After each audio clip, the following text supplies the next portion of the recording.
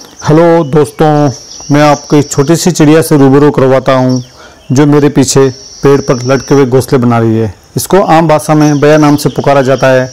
गुरे की तरह बया भी पक्षियों की एक प्रजाति है। इसका आकार गुरे की तरह होता है, लेकिन रंग रूप बिल्कुल अलग होता है।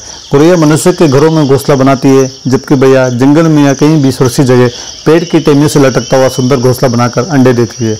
ये अपने घोंसले बस्ती के रूप में बनाती है प्रजन काल में एक ही पेड़ पर या आसपास के कई पेड़ों पर एक साथ घोंसले बनाती है।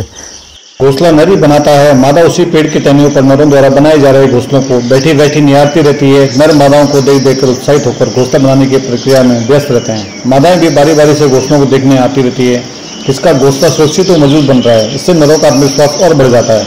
ये जंगल से दाना चुगने मेरे पार्क में आती है, जो मेरे पार्क से लगभग एक किलोमीटर दूर जंगल में है। मैंने पार्क के गेट के बीचों बीच हवा में तैरते हुए बर्तन में इनके दाने की व्यवस्था की है, क्योंकि और पक्षी इनको अपने साथ पार्क में दाना नहीं चुगने देते।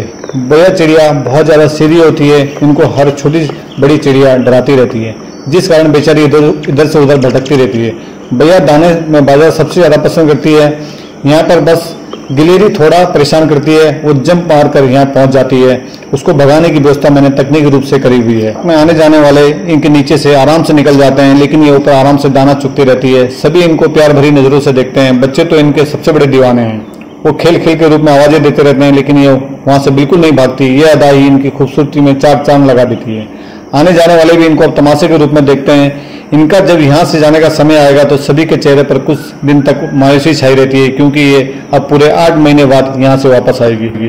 क्योंकि ये बहुत ही मेहनत का चिड़िया है। जिसके घोंसले की नकाशी और खूबसूरती की वजह से मनुष्य दीवाना रहता है। नर बया बहुत सुंदर होती है, जबकि मादा उतनी आकर्षक नहीं होती। लेकिन नर बया वो मादा बया का तालमेल बहुत ही गजब का होता है। ये पक्षियों में प्यार और समर्पण की अद्भुत मिसाल है। कुटुंब में रहने वाली ये चिड़िया है, यही सब, इसकी सबसे बड़ी ताकत है। इसलिए दुश्मनों से बची रहती है। नरों को घोंसला निश्चित अवधि में बनाना पड़ता है, क्योंकि इनका एक समयकाल होता है। ये चिड़िया मई माह में हमारे कैंपस के जंगलों में अपनी नई पीढ़ी बसाने के लिए हर वर्ष यहाँ आती है, जो कि अगस्त माह तक अपनी नई पीढ़ी को तैयार कर, यहाँ से माइग्रेट कर जाती है।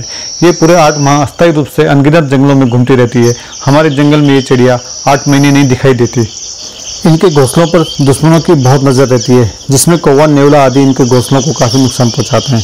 ये उनको भगाने के लिए अपनी चकती आवाज़ों का इस्तेमाल करते हैं। समूह में रहने की वजह से इनकी आवाज़ें बहुत ज़्यादा शोर करती है। इस कारण दुश्मनों के कान फटने लगते हैं, जल्दी निकलने में ये भलाई समझते हैं। फिर भी दुश्मनों द्वारा कुछ घोंसलों को नुकसान हो ही जाता है।